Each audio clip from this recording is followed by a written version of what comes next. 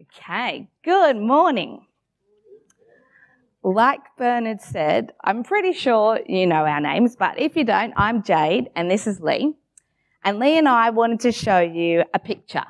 So can we get the one on the big one as well, if it's up? Yes, that's it. Okay. So this is a barn and farm animals normally live in a barn. So put up your hand if you can think of a farm animal. Okay, Millie. A cow, great. Alice? A horse? Bridie? A pig, great. Sage? A chicken. A chicken, great. Okay, pop your hands down. We've got lots, don't we?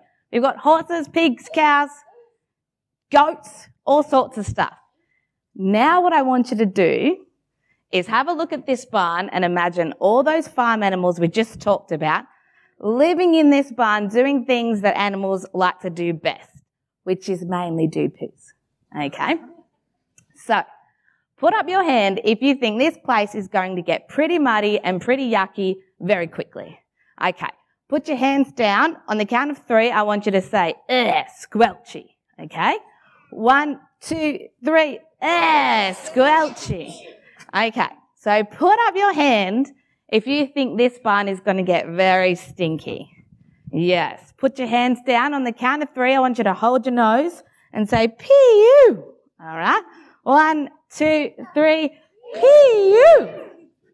So what it sounds like you're saying is that this place doesn't look like very much. It doesn't look very special or glorious. It doesn't look like a place for a king.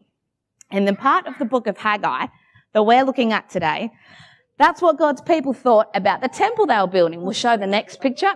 It just looked like this. It just looked like rubble. It didn't look very special or glorious. And God knew his people were thinking that. So he sent Haggai to say, even though this doesn't look special, I'm still with you and to be strong. And I'm going to use things like this to do amazing things in the future. And this is such a good reminder for us because sometimes when we're doing things that build God's house, it doesn't feel very special or important. So put up your hand if you can tell me something you did this week that Mr. Bailey might have mentioned in last kids talk that helped build God's house. Maybe? Yeah, so you might have had some friends over so you can get to know them and tell them about Jesus. Yes, Sage? Great. Reading the Bible. Was that your one too, Elsa? Yeah. Fred, what did you do? Yeah, we went to playgroup so that we could meet people and tell them about Jesus as well.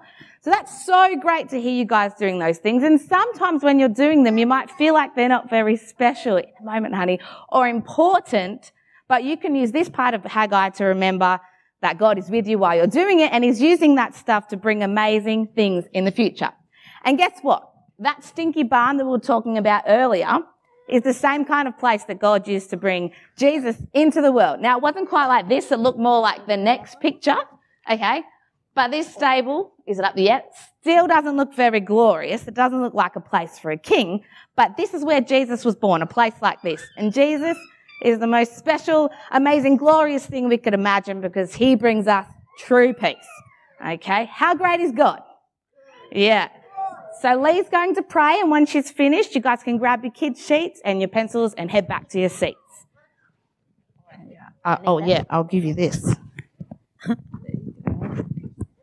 Uh, dear God, thank, thank you that we can all be here together to hear your word.